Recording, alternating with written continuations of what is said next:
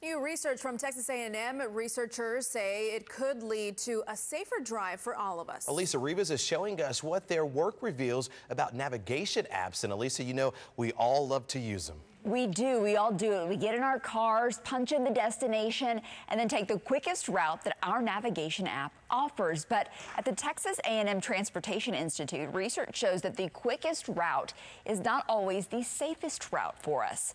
Researchers looked at routes between major Texas cities, including Houston. They looked at more than 29,000 road segments, taking into account factors ranging from road design to speed, traffic volume, even historical data about crashes. Here's what they found. Routes with an 8% reduction in travel time showed an increased risk of being in a crash by 23%.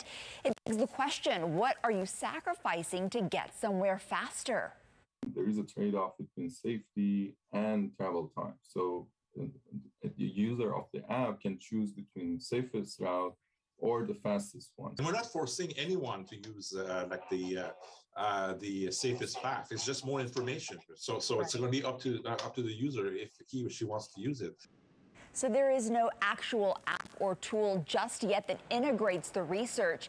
This is just the first step. They hope with time their work could be integrated into navigational technology to give drivers more options and make them more aware of their safety on the road. There's also the question of real-time traffic data, what kind of congestion and wrecks are on the road at any given moment, and how that could affect the safety of your route as well. They hope to work on using that kind of information too.